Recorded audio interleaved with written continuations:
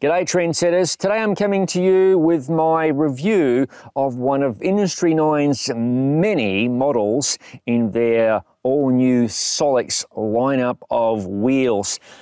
Long story short, the Solix line of wheels is designed as the top tier, the pinnacle of performance, whether your chosen genre be pavement going, road, gravel or cyclocross. Industry 9 has looked at all aspects of the wheel set from aerodynamics to mechanical features such as pawl engagement, drive mechanisms and more and optimised a whole lot across the board.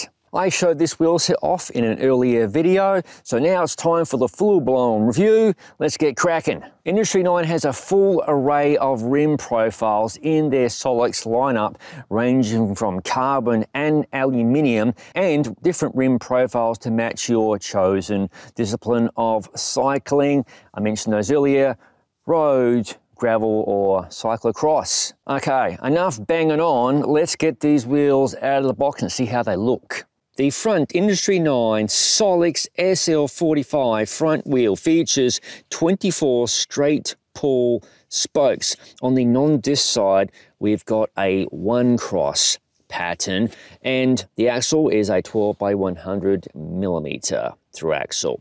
Flipping it over, you have support for the center lock disc brake standard, which I absolutely love. And the spoke pattern, it's a bit beefier for the disc side. It's three cross. And this rim, whilst it is more pavement going centric, it is a hooked rim design. You have to love that. The rear wheel, and it features once again 24 straight pull Sapim CX Ray spokes. On the disc side here, we've got a one cross pattern, and flipping it over, we get a three cross pattern for the drive side. The axle type is 142 by 12 millimeters. Oops, and I forgot to mention, of course, you have center lock for the disc brake rotor standard. Regarding the cassette body, well, pretty much every standard is covered from Shimano HG to Shimano's Microspline to SRAM XDR, which I have inside this box. Many thanks to i9 for including an extra cassette body because I will be throwing this wheel set onto likely multiple bikes, and not forgetting Campagnolo is available for this wheel set. Now, i9 is known for their hubs, meaning plenty of engagement points. In fact, this hub has, this is crazy, 605 points of engagement or 0.59 degrees.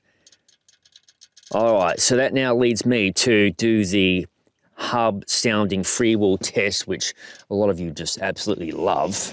Let's get her up to speed here.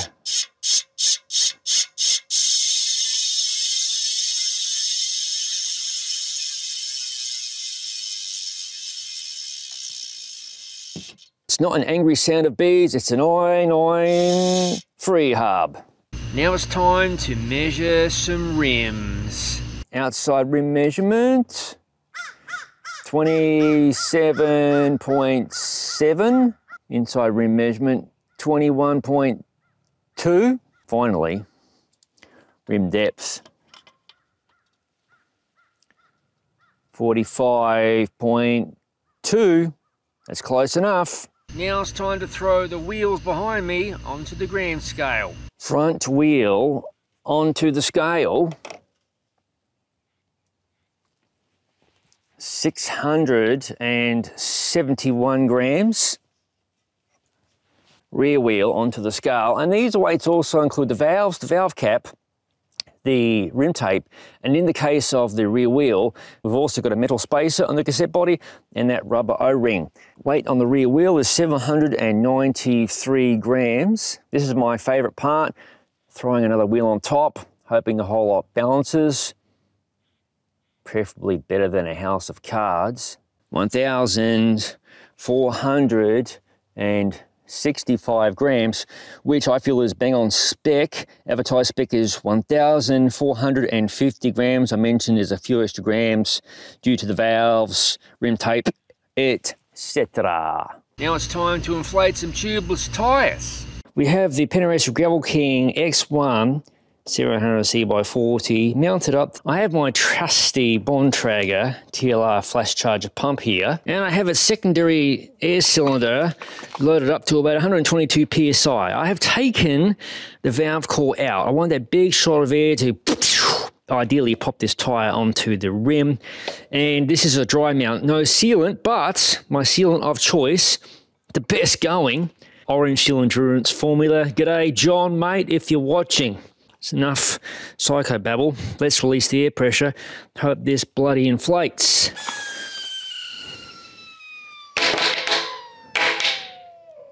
You hear that? The popping sound. That is the sound of success, my friends. Giddy up. Trendsetters, that's the tech specs, the rim measuring, the tyre mounting, the weighing covered. Now it's time to find out how the Industry 9 Solix SL45 wheel set. Right. And I'm shooting this video portion at 10 o'clock at night with sunglasses. Weighing around 1,450 grams with rim tape and valves and priced at US $2,325 with a limited lifetime warranty for the original owner.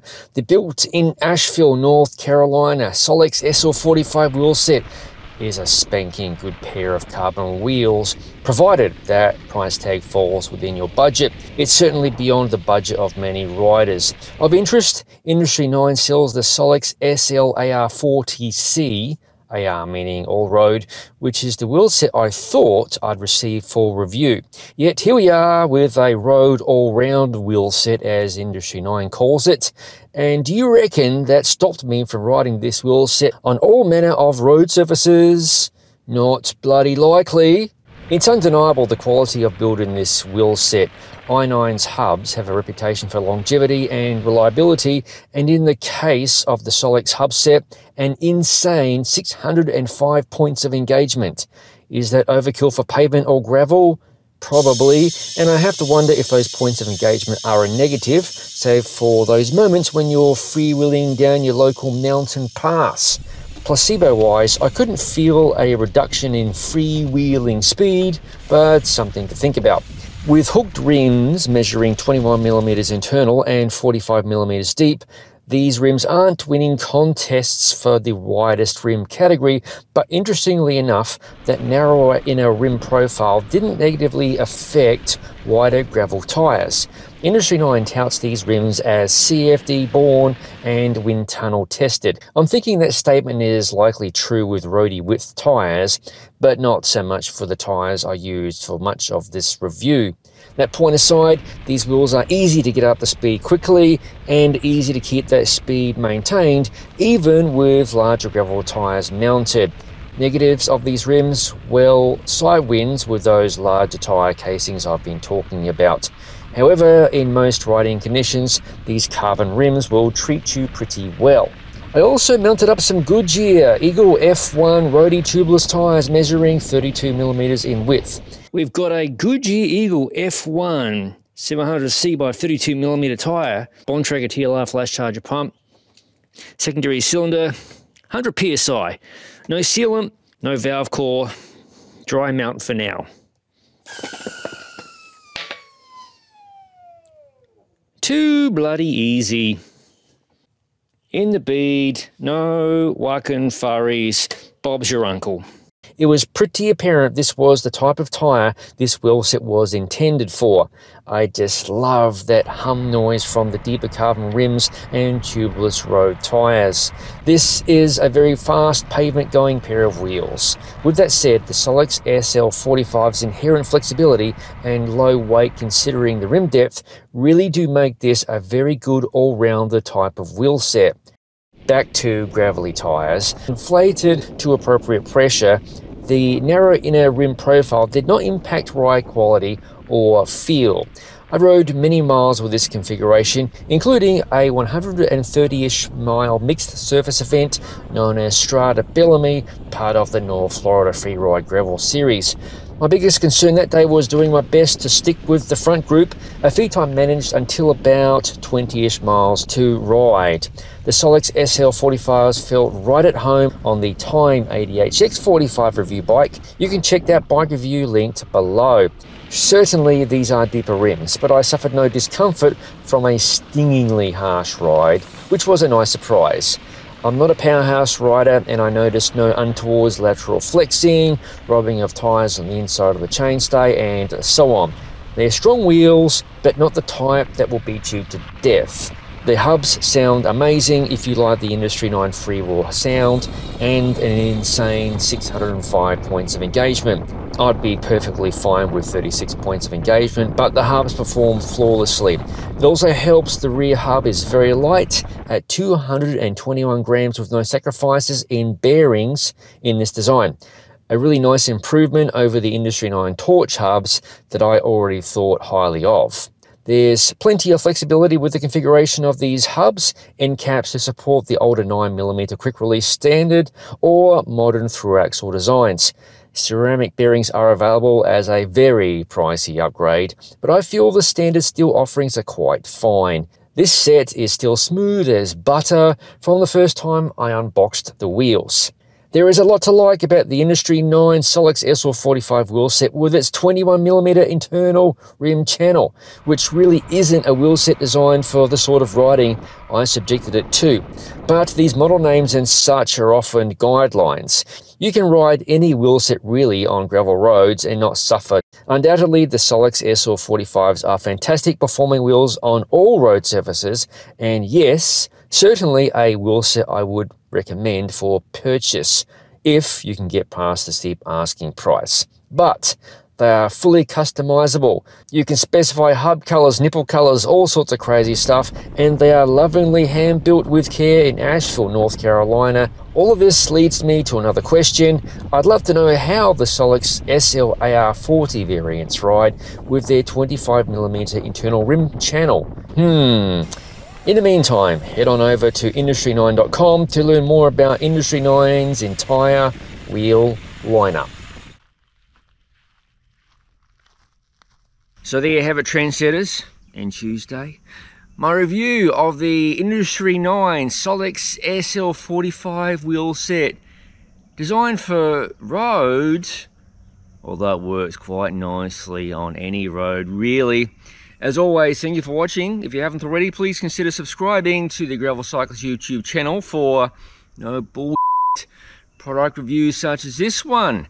No bull gravel bike reviews other product reviews, ride experience videos, and of course, general madness, often involving this dog. Tuesday, dinner time is not yet. Shortly.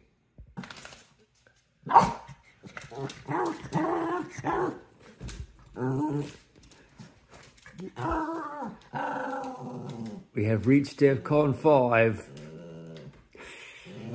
as all of it is released to the channel.